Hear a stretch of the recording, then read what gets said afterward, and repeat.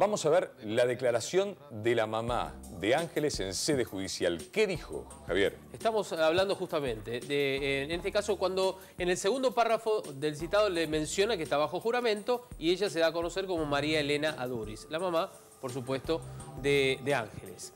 Más adelante ya con su relato, dentro del mismo, recuerdan ustedes que fue el viernes 14, eh, le preguntan y ella contesta que ese día lunes, el lunes de la desaparición a las 21 y 30, eh, mm, le mandó un mensaje de texto desde su celular, allí está el celular, lo preservamos, preguntándole dónde estaba Ángeles, que pasados 11 minutos, 21 a 41, él la llamó por teléfono, siendo atendida directamente por el contestador del celular de su hija. Recuerdan que ella había relatado esto.